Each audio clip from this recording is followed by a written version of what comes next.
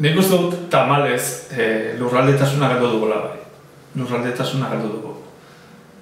E, Lenguan ikusi nuen e, bakartxo galdetzen ziola katalan herrietako bati, haber, Balentziarekin ze zitxaropen duten, ez? Ba, gauza bera, ez? Haber, lurraldetasunarekin ze iritzi duten, ez? Hombre, nik uste dut Balentzia galdua da, gola, e, alde horretatik. E, beste lurraldetasun batzuk galdua dauden bezala, ez guk ere gure lurraldetasunak galdu ditugu. E, horrek ez du esan nahi, e, inoiz berreskuratuko ez ditugunik.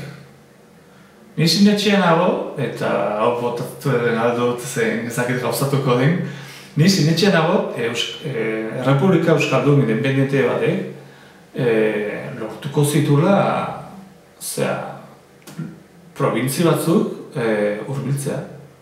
Denborarekin, eh? Denborarekin. Ez zen egun batetik bestera garatuko kondua. Baina, bai, bai, Zer, komunitate autonomo basko bat, e, republika independiente bat, e, eta baskua e, egiten bada, eta gauzak ongi egiten bat dira noski. E, Finlandia edo Dinamarka bat bihurtzen baldin bada, eta hori egin daiteke, ez da asko hori egiteko, hain lorralde txikian.